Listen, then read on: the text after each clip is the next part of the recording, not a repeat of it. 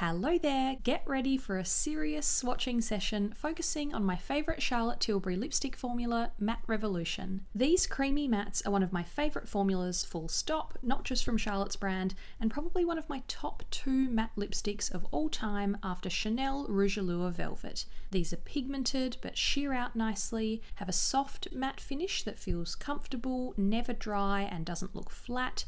They wear evenly and for a really long time, and I love the softly sweet vanilla scent. The rectangular bullet inspired by the shape of a lip brush makes them easy to apply to. Charlotte Tilbury launched her brand in 2013, but it's never been available in Australia until now. It's just about to launch at Mecca. Let me know if you'd like to see an overview of her other lip formulas in future. There's K-I-S-S-I-N-G, a creamy satin lipstick, Superstar Lips, a sheer shiny lipstick, Hyaluronic Happy Kiss, a pigmented glossy balm, Tinted Love, subtle multitasking tints, lip and cheek glow pots to tap on for a fresh flush, her best selling lip cheat lip liners, and three different types of glosses. But my Matte Revolution obsession began about six years ago.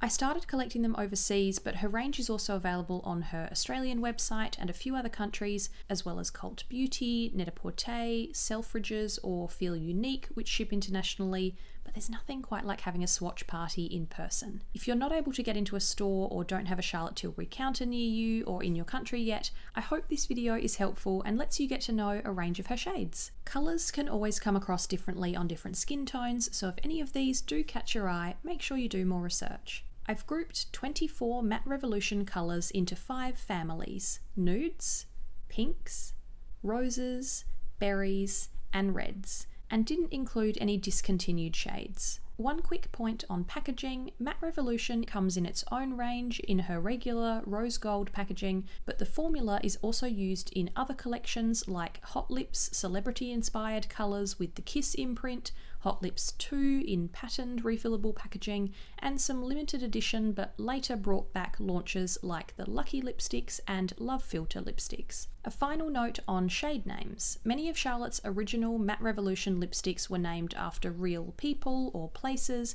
but they were updated in mid 2020, presumably for copyright reasons. Some of her really recognisable titles are a bit clunky now, so I'll refer to past and present names beginning with nudes. Now, nude as a colour is different for everyone. It shouldn't just mean beige. I have fair, cool toned skin, so softer, peachy nudes work best for me, but Charlotte's range includes mid tone, 90s nudes, and deeper brown nudes too. Super Cindy was part of the first Hot Lips collection in 2016, inspired by Charlotte's clients, one of whom is 90s supermodel Cindy Crawford. It's described as a muted nude or taupey nude with warm undertones, and that warmth is almost a bit peachy on me. I wonder if Cindy's daughter and model of the moment, Kaia Gerber, will appear in a future Hot Lips lineup. Very Victoria was one of my first shades. This is called a suede taupe nude, not peachy like Super Cindy, more of a soft light brown with a tiny bit of warmth again so it's not too stark. At the beginning of my celebrity makeup bag series, I discovered that this was one of Meghan Markle's favourite shades and it was named after nude lipstick lover Victoria Beckham. Supermodel was part of a 2019 trio, but Charlotte recently launched five Super Nudes lipsticks, and one is called Supermodel, and it looks pretty similar. The new release is described as a mid tone muted nude rose, and I think it might be the same as this brownie rose. I haven't been able to confirm that anywhere, so please let me know if you've tried both. Pillow Talk Medium arrived in early 2020. You'll see Charlotte's iconic Pillow Talk lipstick in a minute. The original can look too chalky or washed out on deeper skin tones, so she launched Pillow Talk Medium and Intense. This is described as a warm berry pink, but there's a bit of brown coming through too, a much more flattering version for medium skin tones. Birkin Brown was named after iconic beauty Jane Birkin, but it's now known as So 90s. That still fits the mood of this creamy brown nude, which looks very 90s at full strength, but it also shears out nicely so you can blend it with a bit of lip balm for a softer, chocolatey tint. Speaking of which, it's nearly time for a new tinted lip balm video on that theme. Next up, pink. I'm not a big pink lipstick person. I love a dusty pink blush or any pink eyeshadow, but candy pinks or pastels don't suit my lips, so I've put a couple of corals in this category too. Sexy Sienna was named after British actress Sienna Miller. This popped up in my spring 2021 makeup edit. It's called a golden coral, the sort of strong, summery peach that's bound to boost your mood. One of my favourite red carpet looks of all time was Alicia Vikander at the 2016 Golden Globes wearing a mix of this colour and Walk of Shame coming up. Miranda May is a hot lips colour designed with Miranda Kerr in mind. You can see more of her makeup routine in a celebrity makeup bag episode. This is a bright coral pink, outside my usual comfort zone, so I like patting it on instead of a full swipe, then shearing it out with my fingertips. These are creamy enough to create a nice sheer, stained look like that. Kidman's Kiss was inspired by actress Nicole Kidman, another hot lips named after a famous Aussie. This rose petal pink is like bottling the poise and grace and elegance of Nicole, but it's not too much of a baby pink or wishy washy pastel. It has just enough depth and can almost look like a slightly peachy rose if you pair it with a fresh peach blush. Pillow Talk is Charlotte's most popular lipstick by a mile. It started as a lip liner shade in 2013 and became this Matte Revolution lipstick in 2017. It's called a nude pink, but I always describe it as a dusty rose pink. It's nowhere near as bright or rosy as Kidman's Kiss above. Much more muted and incredibly popular for a reason. One sells every two minutes. So you can see a comparison, I've swatched Pillow Talk Medium, again here next to its original Pillow Talk sibling. The brown tones are much more obvious this time, but it's still a nice shade progression. This next group is my personal favourite. I've loosely called it rose because there are rosy tones in each colour, but it's really all of those rosy berry, rosy brown, reddy brown, brownie berry, cranberry kind of colours I love. Wedding Belles was part of a Love Filter trio with three pretty soft berry bridal shades. This was one of my 2020 favourites and it appeared in my everyday makeup routine video last year. It's called a Rosebud Pink, but it's definitely a little bit peachy on me. You can pick up on that preference for peachier nudes. A nice My Lips But Better colour, so they just look slightly darker and fuller. Mrs. Kisses was another Love Filter shade and another one on my 2020 favourites list. It's been in my makeup bag for most of this year too. It's called a golden peachy pink, but I think of it as a warm berry brown almost, slightly more toasty than Wedding Belles, and it fits into the rest of this rosy brown family nicely. Great shade for autumn slash fall.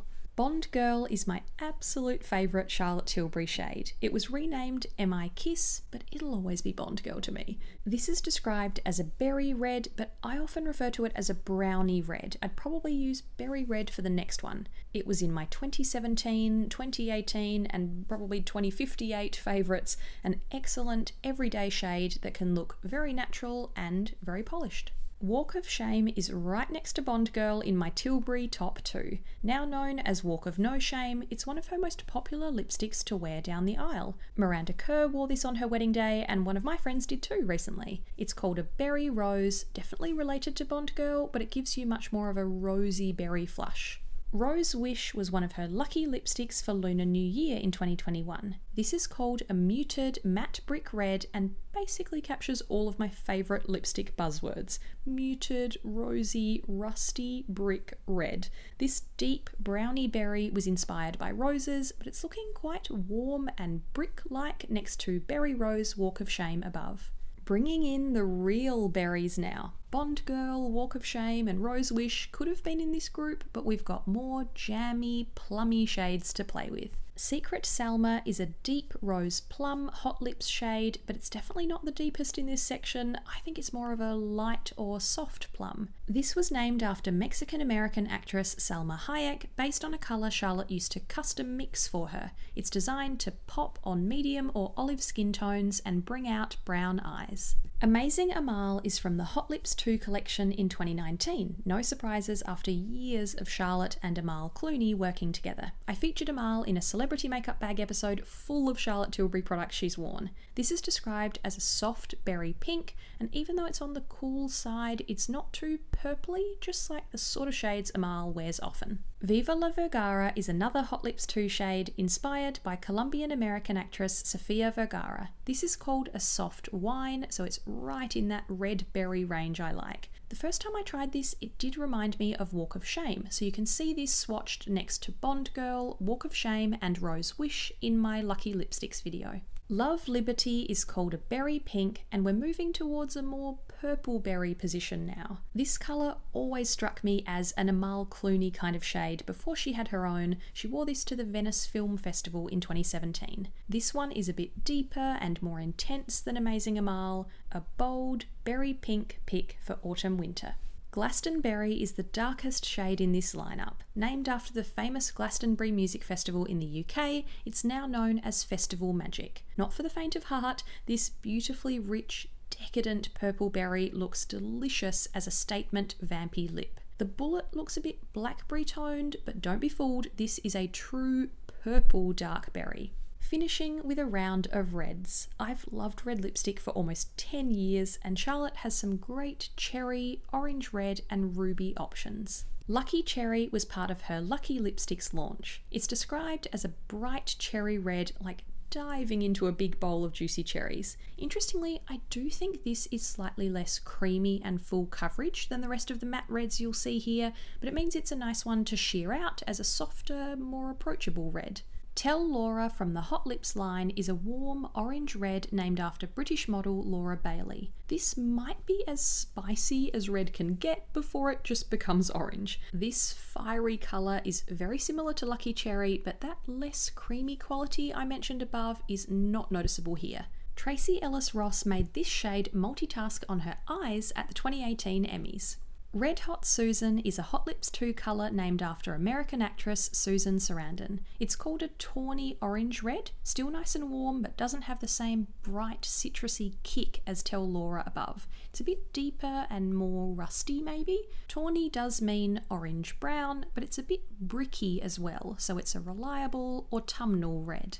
Carina's Love is an original Hot Lips shade. This is called a bright medium red, inspired by the Hong Kong actress Carina Lau. This shade appeared in my Lana Condor makeup bag video because it's the lipstick she wore as Lara Jean in the second To All the Boys film on her first date. I always think of this one as a slightly berry red. Red Carpet Red is a bestseller and one of my favourite red lipsticks, and I can tell you it's a pretty long list. This is described as a true ruby red, such a classic, rich colour, darker than the others here. As red lipstick lovers well know, no two reds are exactly the same, as you can see in this section. I particularly love powerful, deep reds like this one. We made it! I hope this was helpful if you've been looking for Charlotte colour comparisons or you just enjoyed watching some satisfying swatches. I've collected and loved these over many years, so you can probably tell I'm not fussed about expiry dates. I just focus on hygiene, keeping products clean, not sharing. If it still looks, smells, and performs the same, I keep it. These certainly last. I've worn some of them so often. I'd love to hear if any of you have ever finished one. No one needs this many lipstick tubes, but lipstick isn't really about need. It's more about how it makes you feel than how it makes you look. It can give you confidence, change up an outfit, play up a different side of your personality. I love that transformative power, and I know so many of you love Charlotte's shades as well, so please share your favourites in the comments. Are you a Matte Revolution person or prefer another formula? If you're planning to try the brand for the first time, let me know if I can answer any colour questions, and tell me, which colour group are you drawn to or have any new shades caught your eye? Thanks for watching. See you next time.